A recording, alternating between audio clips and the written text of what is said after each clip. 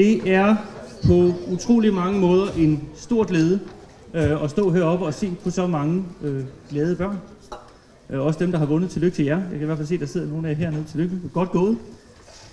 Øh, I dag øh, skal vi, så sætter vi faktisk fokus på den debat, der er så afgørende for os alle sammen, nemlig og hvordan vi skaber de bedst mulige rammer for iværksætteri og innovation på Bornholm fremadrettet. Vi har indtil videre set en hel masse, flok, en hel masse unge børn arbejde seriøst i en lang periode på at skabe nogle spændende projekter. Der bliver tænkt nyt, der bliver tænkt anderledes, og der bliver også tænkt i nogle andre målgrupper, end man er vant til. Til specielt tak til ældresagen for at stille op. Jeg synes, det er en spændende konstruktion og en spændende konstellation at få gode input fra nogen, som måske ikke har det så tæt ind på livet, som I har, men jeg er helt sikker på, at det fornemmer jeg også på jer, I har fået en hel masse gode ting med herfra. Tak til skolerne for at stille op. Det er, det er værdiskabende, og det er, det er noget, der, der fylder med stor glæde, at det her det flytter en agenda, som er vigtig. Vi har brug for de her kompetencer i fremtiden. Vi har brug for, at unge mennesker både går ud og bliver iværksættere, men også bliver dygtige medarbejdere ude i vores eksisterende virksomheder. Grundkompetencerne skal, skal formes, og de skal dannes allerede fra skolestarten, og slutter først, når man går i graven. Det her det lyder måske lidt dystert, men øh, ikke desto mindre så er det livslang læring, og det er nogle kompetencer, der skal udvikles altid. Og det skal starte tidligt. Tak til jer, der er dukket op. Tak til lærerne. Tak til Tav for at arrangere det her fantastiske øh, arrangement. Tak til ældresagen. Tak til elever, og ikke mindst tak til dommer.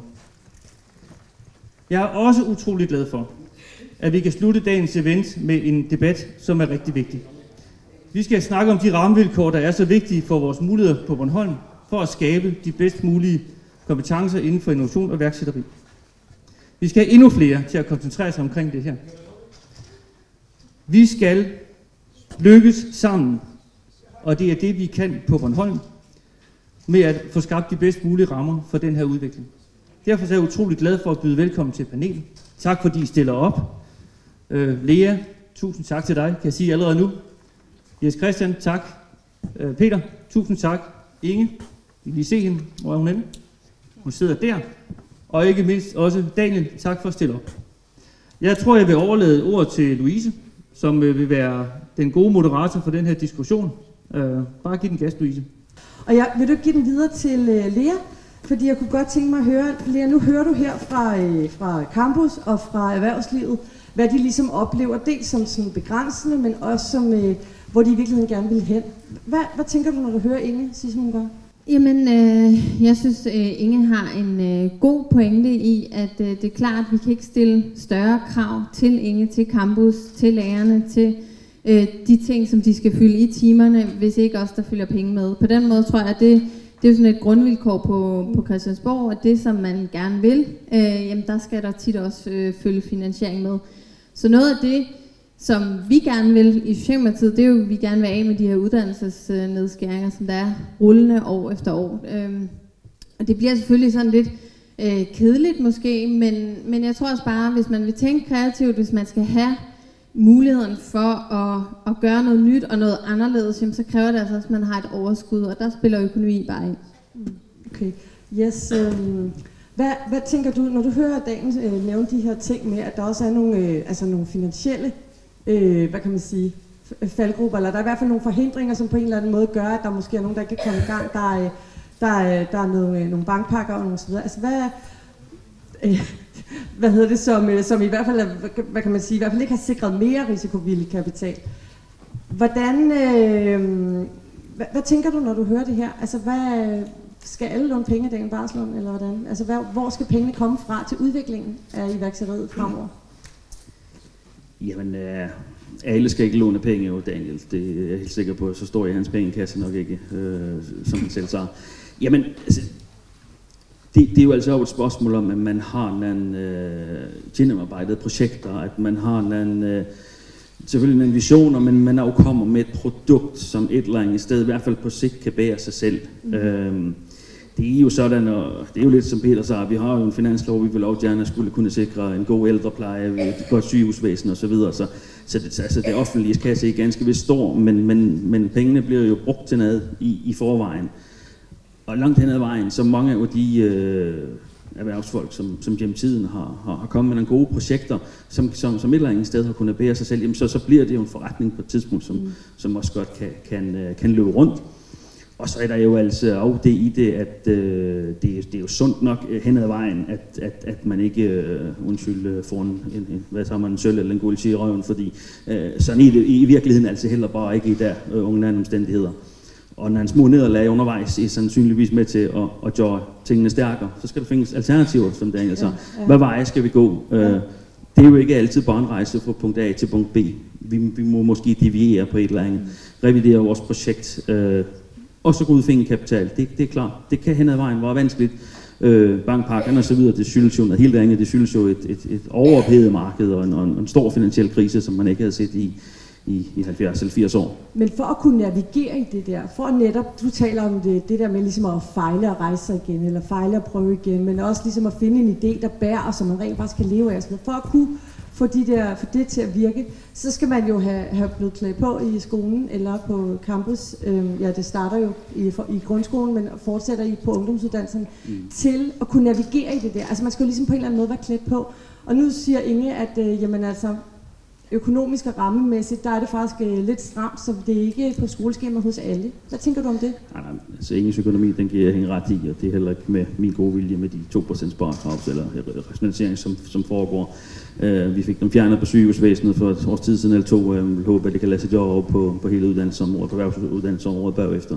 Det vil jeg da håbe. Men øh, det, der er vigtigt, det er jo, at øh, der er rigtig mange, der er startet op med nogle gode idéer. Og det tager altså bare tid. Og øh, der er rigtig mange, der har haft et job, besiddet sidder nu, fundet på noget andet lave eller lignende. Og på den måde øh, fået en virksomhed op at stå på sigt. Jeg vil også sige, at det vil bare at altså, stikke de unge mennesker blå i øjnene, hvis vi bare sagde til dem, at her er en pose penge, og dem kan du gå i gang med at lave et eller andet spændende for. Der findes projekter, og man kan søge sig ind på forskellige måder. Der er blandt andet en af EU-projekter, der er en midler. På Bornholm har man trods alt gjort det, at vi har lavet den her ene erhvervsindgang, der gør, at øh, ønsker man at starte virksomhed, så kan man Altså så er der en indgang i kommunen, øh, erhvervscentret og så videre, øh, Business Center Bornholm og de her ting, som kan hjælpe en i gang, hvis man har nogle øh, projekter. Men kunne man forestille sig, fordi du kan jo, øh, du kan vel i, i teorien ende med at, og, hvad skal man sige, ende med at lege med både Lea og Peter, og jeg tænker, altså kunne man forestille sig, at I i jeres parti ville øh, sådan, stå på mål for, at, øh, at, øh, altså, at der på en eller anden måde blev frigivet nogle flere ressourcer til det her? Det, det vil jeg da godt, men altså, det, det vil jeg ikke kunne sidde og love. Nej, det vil bare at bænke mig op på nad, som, ja, som, ja. som jeg... Altså, jeg har det sådan, at uh, ganske vist står der et valg for døren, men jeg skal også stå til regnskab for det, jeg sagde nu, ikke ja, et valg bestemt. efterfølgende. Og, uh, og, og, det vil jeg... Jeg synes i hvert fald, at man på Bornholm gør rigtig meget for iværksætteri, mm. entreprenørskab osv. Vi, vi har i det hele taget et brand, vi har en... Uh, hvad kan man sige, vi, har, vi er nu inde i et gænge, hvor vi har rigtig meget omkring Bornholm, en masse positiv og en masse positiv udvikling, og det er vel afvare på rigtig mange små virksomheder.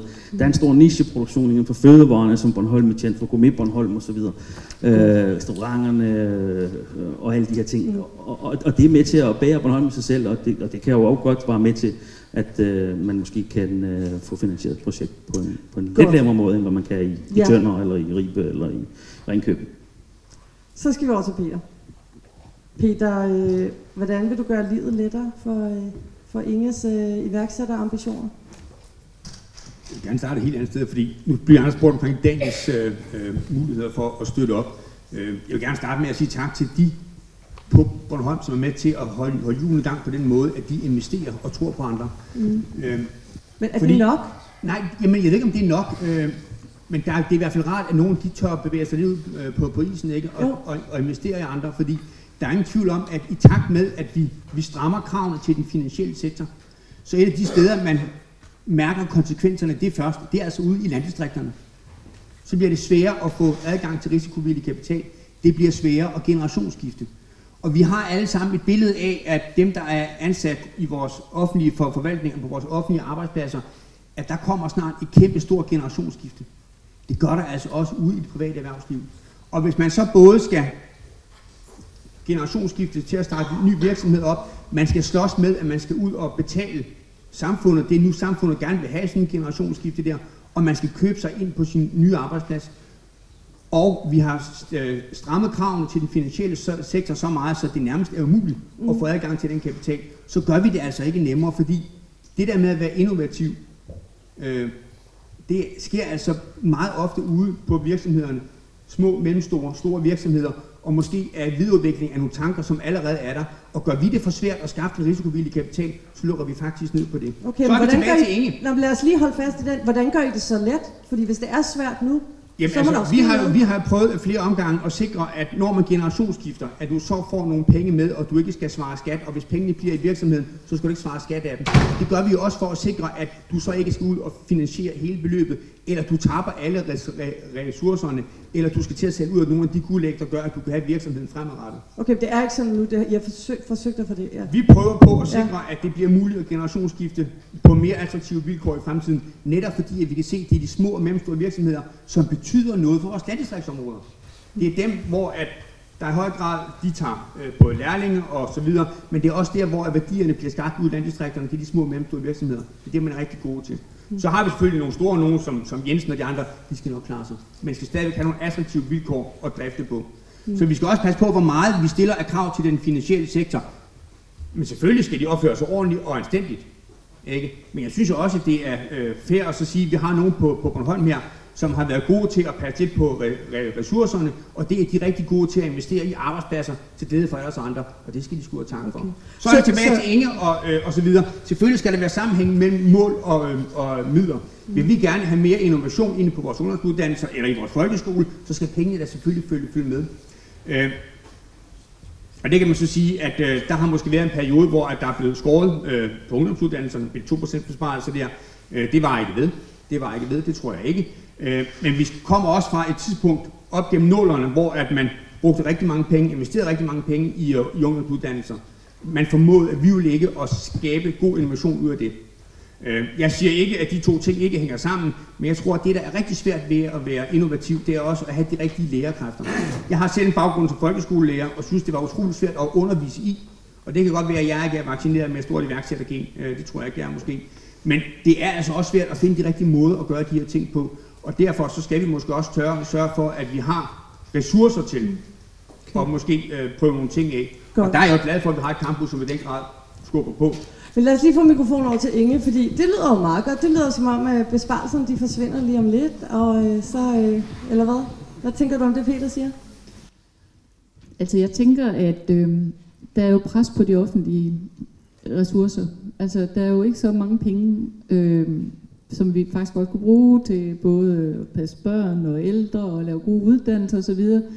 Så, så det her det handler jo også om, at vi uddanner øh, elever og, og unge mennesker til at, at ændre på deres praksis, sådan så vi gør tingene smartere. Øh, det, øh, det så jeg, som jeg ser for de her unge mennesker, der, der nu har deltaget i de her konkurrencer her i dag, det er jo altså nogle, øh, nogle øh, unge mennesker, som øh, vil være så godt rustet til at komme ud på arbejdsmarkedet, og, og, øhm, og som også er med til sådan at holde os andre lidt skarpe på, hvad det egentlig er, opgaven for os går ud på. Så, jeg- så jeg tror, uanset om vi så får ekstra penge til at lave uddannelse for, så kommer vi til at prioritere, at øh, innovation og iværksætteri, det skal altså bare være en del af undervisningen, uanset hvad det er, man underviser i.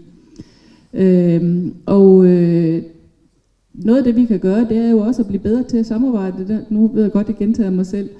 Men, øh, men hvis vi kan samarbejde med erhvervslivet for eksempel om at lave nogle øh, opgaver øh, sammen, det kan være øh, øh, BOFA, som nu skal til at være øh, afgift, eller Bornholm skal jo til at være afgift, eller hvad hedder det, affalds... Øh, neutral, ikke? Så hvis man kunne samarbejde med BOFA om at lave nogle øh, spændende løsninger, vi skal til at samarbejde med i et projekt øh, med øh, folkemødet om, hvordan at vi kan få mindre affald på folkemødet. Altså, det er jo ikke nødvendigvis noget, der koster penge. Det, det, det, det kræver en indstilling om, at vi vil samarbejde, og at det er sjovt at, at lave noget på tværs. Øhm, og så tror jeg også, at, øh, at det, det, at man bliver kastet ud i sådan noget her, og der er nogle sjove rammer omkring det, ja, så, så opdager man måske også, at det ikke er så øh, farligt at begå fejl. Altså, og det er også en del af det at have sådan en, en mentalitet. Det, det at, at øh, man får skabt en kultur, hvor man prøver noget af, og hvor man dummer sig lidt og har det lidt sjovt over det, øh, det gør bare, at, at, at mindsetet bliver, bliver anderledes end det mindset, som jeg fik, da jeg gik i en skole, hvor det var meget vigtigt, at der var rigtige svar øh, på matematikopgaverne, og at man stavede rigtigt osv. osv. I dag der lærer man bare nogle andre ting, som gør os alle sammen bedre til at arbejde med innovation og iværksætteri, også i det små.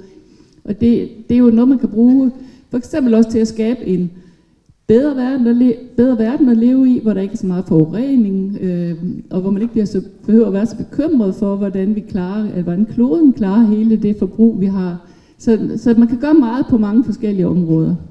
Vi skal nå til Lea, men havde du en kort kommentar, Peter? Jo, jamen det er fordi, øh, i din snak med Daniel før, der snakkede I også omkring at lukke skolen op. Ja. Øh, og det er også noget af det, måske vi skal blive meget, meget bedre til i fremtiden. Øh, nu har man tidligere, hvis man ikke også gør det stadigvæk, der har man øh, kommunen sammen med Jensen og kørt sådan nogle ta- talentforløb. Det var så inden for de naturvidenskabelige fag. Øh, sådan noget kunne vi jo godt gøre meget, meget mere af, hvor at vi prøver på at, at koble erhvervsliv og koble elever, netop også for at få de gode idéer på banen, men også som skoleelev, og så se ikke, hvor bliver idéerne, hvor bliver de kon- kon- konkrete, hvor bliver pengene skabt henne, fordi det er også med til at sætte nogle ting i gang. Nu tager Jes din mikrofon og giver den til Lea. Lea, det er jo meget godt alt det her, ikke? men jeg tænker bare, altså samtidig så hører vi om uh, unge mennesker og 12-tals uh, tyranni og unge mennesker, der går ned med angst og så videre. Altså sk- skal der ikke også ligesom være på en eller anden måde et, et paradigmeskifte eller en eller anden form for opbrud i hele det her med, at vi har sådan en, en, en, en uddannelse, en, eller hvad kan man sige, altså sådan et uddannelsesflow for unge mennesker, hvor de skal være hurtigt færdige, og de skal præstere godt, og for at kunne komme videre ind på videregående uddannelser. Er, er der ikke sådan lidt noget modstridende mellem det, og så, øh, hey, det, det er fint at fejle, tænk ud af boksen, prøv dig frem. Er det ikke sådan lidt? Jo, men jeg tror, vi skal tage det der præstationspres meget alvorligt. Øh, og vi har jo også diskuteret det lidt på, på Christiansborg. Altså, hvordan kan vi sørge for, at man netop øh, ikke er så bange for at række hånden op, øh, fordi tit så bliver hele klassen jo klogere af, at der også bliver stillet de rigtige spørgsmål. Så det tror jeg ikke, vi er færdige med at, at arbejde med. Men, øh, men jeg tror sådan set, at man godt kan gøre mere for, at den brede del af, af vores børn og unge øh, stifter bekendtskab med innovation. Jeg tror, det er godt, det ikke er et fag på skoleskemaet sådan alene, men at man bliver bedre til at tænke det bredt ind i de fag, man har, fordi øh, der kan måske godt være lidt social arv i det der med at være iværksætter. Øh, altså, at hvis man kommer fra en familie, hvor ens egne forældre har været iværksættere, så er man måske ikke så bange for at kaste sig ud i det. Øhm, og øh, der tror jeg, det er vigtigt, hvis man vil bryde lidt med det, at man så sørger for at tænke det mere bredt ind, at øh, hvis du er rigtig god til matematik eksempelvis, jamen, så er det måske også lettere at være innovativ med det. Og øh, nogle af de her projekter, som, der, som vi også er, er blevet præsenteret for vinderne øh, her i dag, jamen, altså det der med at være dygtig til noget, til de grundlæggende fag, det gør altså også, at man måske bedre kan tænke ud af boksen, fordi man ved også, hvad er det, der skal til. Nu var jeg selv lige op og besøge Lærlingenes Hus. Jeg ved ikke, hvor mange af jer, der har nået at høre om det nu. Men Dansk Håndværk har jo købt et hus i Sandkås, hvor ideen er, at hele det her hus skal renoveres øh, ved hjælp af lærlingen. Så først er det nogle studerende fra arkitektskolen, der skal være med til at tegne det, og så skal lærlingen sådan set ind over hele processen. Og øh, det er jo meget sjovt, når man så sætter forskellige studerende og grupper sammen, at så kan det godt være, at de arkitektstuderende tænker, det ser rigtig godt ud, hvis vi gør det sådan her. Men så er det meget godt lige at blive sat sammen med en fra DTU, som kan sige, jamen det dur ikke, du er nødt til at tænke de her ting med. Øhm, så jeg tror, det der med at være dygtig inden for sit fag, og så blive quizzet af nogle andre, det tror jeg sådan set er, er en vej frem. Øh, vil du give mikrofon til Daniel? Øh, jeg tænker, Daniel, nu har der været, øh, jeg tror, 200 børn og unge i dag, der har arbejdet med innovation og præsenteret en masse idéer, og de har lavet plancher osv. osv. Og der er på en eller anden måde skabt grobund for, at her er nogle unge mennesker, som på en eller anden måde sådan lærer, og øh, hvad er en god idé, og hvordan præsenterer vi den osv. Og så lige om lidt, så kommer de på campus, hvor at øh, innovation, øh, der er, selvfølgelig er der nogle muligheder, der er noget inkubator, der er nogle sådan, men der skal man ligesom selv gå hen. Øh, ellers er det et valgfag, som jeg har forstået det, ikke? Eller hvordan? Nej, det er ikke helt valgfag. Ikke helt et valgfag. Det bliver mere og mere en del af undervisningen. Det bliver mere og mere en del af undervisningen. Okay, lad os, sige, lad os tage den der så. Er, er, det, er, der, er, er det ambitiøst nok? Burde man stille krav til, at det, at det i højere grad var, øh, hvad skal man sige, ikke engang på skoleskemaet, men altså gennemgående, gennemgående i alle fag? Eller hvad tænker du? Jamen, man kan jo altid diskutere, om det er ambitiøst nok, det niveau, der er lagt. Øh, nu skal vi heller ikke sidde her og tale, at alle skal være iværksættere, fordi det, det skal de ikke. Øh, alle har slet ikke øh, muligheden for det, øh, heller ikke kompetencerne øh, til at gøre det. Så, så jeg synes bare, at vi skal lave rammevilkårene så godt som muligt, øh, så vi får klædt vores øh, elever øh, på, så de kan komme ud og, og blive en inspiration til, til verden. Og, og, og jamen, der er nogen, der skal være iværksætter, men, men for alt i verden skal man ikke være iværksætter, fordi det kan også være en hård proces, øh, som Jes også snakker om. Jamen, det kan jo godt være, at man ikke får løn de første tre måneder, fordi øh, og man er nødt til at bidjobbe op om natten og alt muligt sådan nogle ting. Så det er jo ikke bare at, at finde på en idé. Øh, og ideen skal højst sandsynligt også være skalerbar, for at den bliver økonomisk forsvarlig. Så, så, så der er jo nogen, der bare skal være mand og kone iværksætter, og de skal have økologisk høns eller et eller andet, men der er også nogen, der skal være øh, Svanike Bryghus, Lensgård, øh, Mosteriet, som kommer ud over øen og sådan nogle ting. Så, så der er jo meget forskel på, øh, hvor vi skal hen øh, i den her proces, synes jeg. Og det er klart, jamen, jeg synes, at vi skal starte øh, så langt nede som overhovedet muligt. Øh, men ikke, øh, alle skal i hvert fald ikke være iværksætter overhovedet. Altså, det skal i hvert fald ikke være ambitionen, fordi øh, så dør vi i, i, i, i den ånd, vil jeg sige. Okay. Lea, hvad siger du?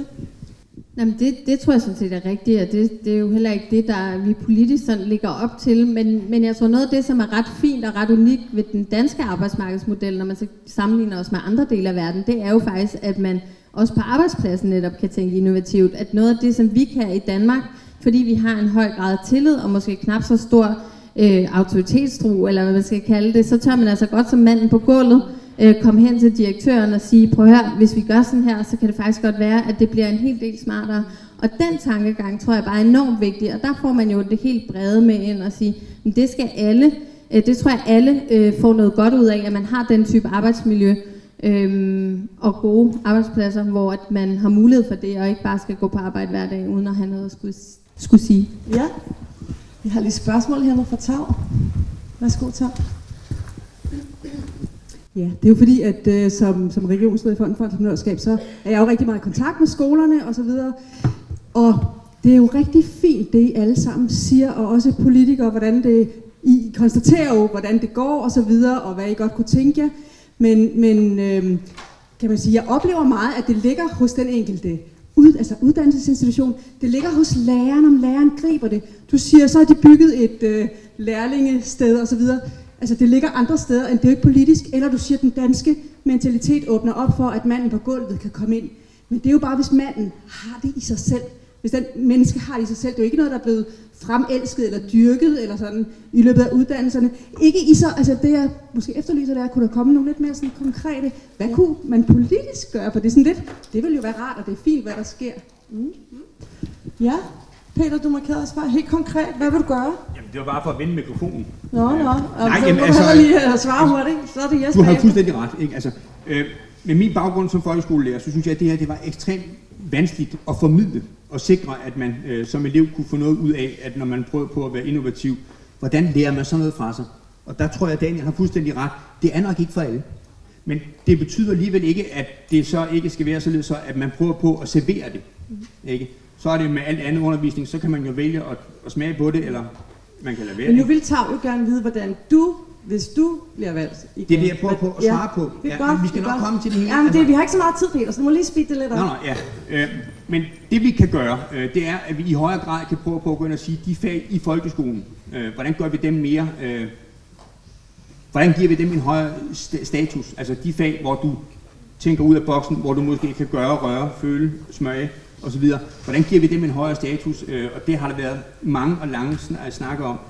Men noget af det, som du har fuldstændig ret i, det er, at det er i høj grad op til et, en institution og til, den, og, til en, og til den enkelte lærer, hvordan man sikrer, at man kommer videre med det her. Og der har vi lavet den kæmpemæssige fejl på Christiansborg, og vi har været inde og bestemme, hvordan en Prips lærer skal have, hvilken uddannelse de skal have. Vi er inde og detaljstyrer skolerne i alt, alt, alt for høj grad. Vi tager fuldstændig luften ud af ledere og bestyrelser osv. Så vi skal også i højere grad fra det politiske niveau slippe friheden løs. Og så skal vi sige, okay, hvis du skal tænke tværfagligt, så skal du også være fagfagligt, så det basker. Og så er det det, som vores folkeskole i den grad skal stå på. Og så kan Inger senere hen begynde på at arbejde tværfagligt med dem, og så få de gode idéer i samarbejde med erhvervslivet, få dem ud over rampen. Giver Og det er konkret nok for dig, fordi jeg, jeg sidder og tænker, jeg hører dig både sige, at vi skal have en fagfaglig folkeskole, men jeg hører dig også sige, at vi skal åbne op, sådan så at der kan blive en mere sådan, øh, øh, kompleksitet Ja, men blandt Det er lærerkompetencerne. fordi, jamen, altså, det ene ude, udelukker det ikke, ikke, ikke det andet, vel? Nej. Men altså, du skal jo have det fagfaglige på, på plads, inden du kan bevæge dig ud og tænke ud af boksen og få de gode idéer osv. Så, så vi må ikke give slip på det fagfaglige, inden vi begynder at blive innovative eller tværfaglige. Mm. Giver det mening? Ja.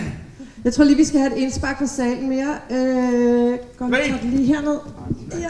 Bror, øh, Jo, jo du har et øh, kvalificeret spørgsmål. Værsgo. Nej, det ved jeg ikke, om det er kvalificeret. Men i, i hvert fald så er det sådan, at, at vi er meget privilegerede på Bornholm. Vi har nogle gode fonde, vi har noget gode, et godt erhvervsliv, og det betød, at vi for øh, to eller tre år siden kunne frikøbe 23 folkeskolelærer for at uddanne dem i innovation.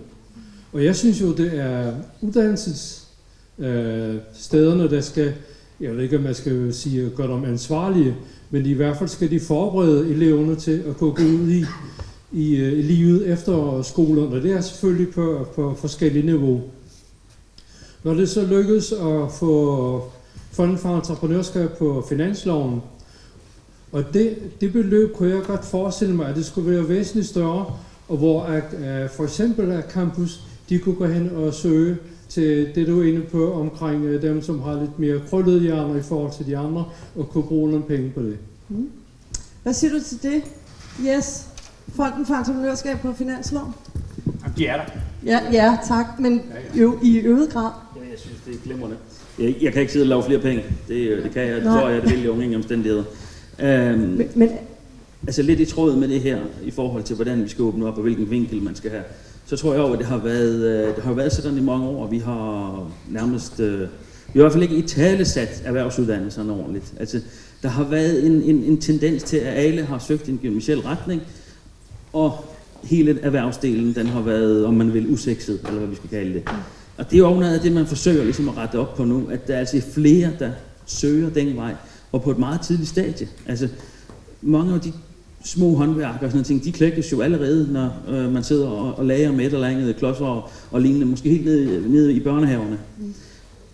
Og det kan altså også være med til at hjælpe på, at der bliver flere erhvervsuddannede, og iblandt de erhvervsuddannede, der er der helt sikkert også rigtig mange, der har nogle gode idéer, der kan udvikle sig til noget, der er meget stort på sigt. Øh, så det tror jeg helt øh, automatisk vil kunne hjælpe, øh, at, at vi søger, altså der, der, Mere der har der været meget mere fokus på på det sidste år, altså netop omkring øh, erhvervsuddannelserne. Og, og det er jo det, der kan give det et skub i, det, i den rigtige retning til, at der kommer endnu mere fokus på det, og var, øh, ikke bare var iværksætter, fordi det, det skal alle sammen, ikke? men der, der er rigtig mange, der har gode idéer, og i, i, i, kan sige, i mindre skala, men, men som kan skalere sig på sigt, og, og det er jo vigtigt for sådan nogle projekter. Så erhvervsuddannelserne, dem skal vi altså øh, have nogle flere til at vælge. Lad os lige det tilbage til. Du havde øh, du ræk- øh, markeret Jeg, jeg markerede, fordi øhm, nu er der jo rigtig mange ting, at man skal, når man er skolelærer. Så derfor så vil jeg sige, det, nu er jeg jo ikke på valg, men alligevel som leder af en uddannelse, eller af Campus Bornholm, så er det noget, som jeg tænker, det er noget, som lederne skal tage ansvar for. Og det synes jeg også, man skal, når man leder en folkeskole, at sige, jamen det her, det vil vi bare, og derfor så planlægger vi det bare. Så der er ikke, det er ikke den enkelte lærer, der skal, der skal øh, stå med hele det ansvar. Skal vi det ene, og skal vi det andet, og skal vi arbejde med bæredygtighed, eller hvad skal vi? Men vi skal arbejde med det her, og vi skal deltage i sådan nogle programmer som det her, og bakke op om det, øh, sammen med dem, som er, så venlige at stille op til det også. Så tror jeg, det rykker noget. Men har, har du bare lige et opfølgende, har du, altså, har du den økonomi og de rammer til at gøre det i dag? Altså det her, det handler jo om, at matematikundervisningen, den skal blive mere interessant. Dansk undervisning, engelsk undervisning skal blive mere interessant. Så, så vi skal jo sørge for, at de penge, vi får til at matematik, dansk og engelsk undervisning, for eksempel, bliver brugt på en anden måde. Øhm, og det handler jo om at bryde med, med noget vanetænkning. Så, så ja, den, den del af det kan, kan vi jo godt finde penge til, og det skal vi bare finde penge til. Det er også en del af vores bekendtgørelse i dag, at man skal arbejde med innovation.